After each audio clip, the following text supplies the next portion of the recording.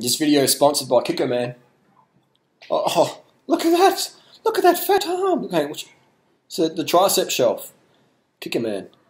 Sponsored Durianriders. Seriously though, remember guys, carbs make you fat. So the question is, let's get serious now. Uh, someone said something about your Raw Till 4 book, and you know, I hear a lot of differences about uh, sugars, refined sugars, what's the deal? You know, should I lose them for weight loss? What's the... Essentially, that's what's the fucking question. Now, a lot of people in the world get offended when I swear or say it matter of motherfucking factly. Because we, we're in a world where people are like, hey, what's up? Hey, my name's fucking Dillbag Ditzbrain, and I'm going to be really fake and shiny to you, but in real life, I'd be like shaking your hand and have my fucking, I'd be shaking, smiling like that for the selfie, and in my head, I'm going, just hurry up, fuck off, I've got shit to do. And that's the reality of the world we live in today, especially social media. So many motherfucking fakers out there. I call them like the, the, the handbag Zoella basics. Doesn't make it bad people, but it, what happens is when people like myself come along and say some fucking truth and tell you how you need to hear it, you're like, oh, you're crazy. You're angry. You're aggressive. No, I'm just not fake, and I don't do Hollywood. Excuse me for being me. Anyway, so does refined sugar good or bad for weight loss? Depends what your goal is, man. What's your goal? If your goal is to get fitter, then yeah, you got to have refined sugar. If your goal is to get leaner, then yeah, you got to have refined sugar to get fitter. Show me one fruitarian out there who's really fit, who doesn't have refined sugar. None of them. No one. Even when I was like fruitarian, yes, I was very lean, but I wasn't as ripped as I am now. I wasn't as fast or as strong or have as much stamina or work ethic I had now. People, and look, look here's an example. And now again, not hating. Look at FullyRaw Kristina. Has no refined sugar, but I wouldn't call her fat. But she would call herself overweight. I definitely think she looks good. But if you compare against someone like Freelee, most girls are chasing Freelee's leanness. And it doesn't make Freelee a better person. This is just different body compositions. But let's just hypothetically have Kristina, who I've, who I've known for personally since 2006 when we first hanged out, known her for 10 years. People are falling out there, that's another story. But let's look at physiologically speaking. Very clean, pure diet, raw food, 100% diet. And she's not exactly stick figure thin. And doesn't, that's fine with that. But she doesn't have any refined sugar. And then you've got someone like Freelee, who smashes in the Sprite and the, the vegan sports drinks and the gels and the stuff like that. And Freelee's like, me and Freelee battled to keep weight on because we do like doing sport. And people say, well, I don't want to do sport. Well, then you're going to have a floppy body, aren't you? you're going to have what's called fat skinny. So you won't have the tone. You'll just have like an arm the same definition, the same size, diameter, but they won't have the definition. You won't be able to see the, the sinew and the, the tendons and the, you know what I mean? You just be fat, skinny versus having some tone. You'll be one of those girls who has like a, a pancake butt versus a peach butt. Now, and there's nothing wrong with that. But it depends what your goal is. So I would recommend having refined sugar definitely. If your goal is to have a fit, tighter, more taut body relative to your genetics, then refined sugar is your friend. Why?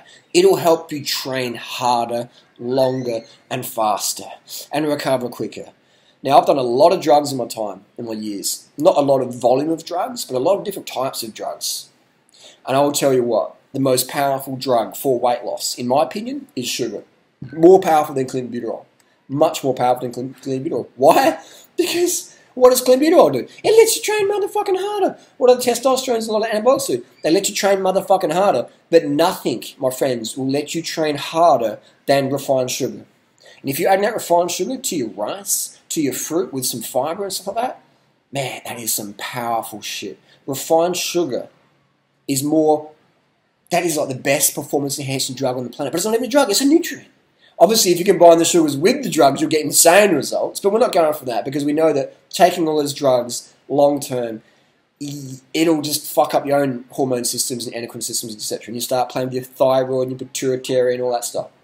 Even though most girls have been on steroids for years, contraceptive pill, and that's that's really unfortunate because it definitely slows down the progress. If you're on the pill, that's got to be damaging your body for life. Um, and it, you'll never have as good results as if you never took it. That's just 100% fact. Can you still get amazing results? Yes, you can. But your body will always be DNA changed from taking steroids. The contraceptive pill is a sex steroid. But can you get amazing results? For sure. Look at Freelee. She was in the pill, she got results, but it did take her a lot longer than, let's say, we had someone who, uh, when she was 27, when we hooked up, it should never take the pill. Her results will get a lot faster. What I'm trying to say is that refined sugar is excellent. Have refined sugar. When Freelee added refined sugar, she got leaner because she got faster. And when you get faster, you get you look you look fitter, man. Even Ted Carr, when I was we were making fun of him last year at the festival, how slow he was, but he was very lightweight. And we're just like, you know, like, yeah. But then he started having refined sugar and he's like fruit juice, and the fructose syrup and that, and his performance just went poof, next level, and he got a little bit leaner. So, same with Mike Arnstein, the fruitarian, started having the, the Clif gels and stuff like that. Boom, performance went up. So fruit is excellent, really good for weight loss.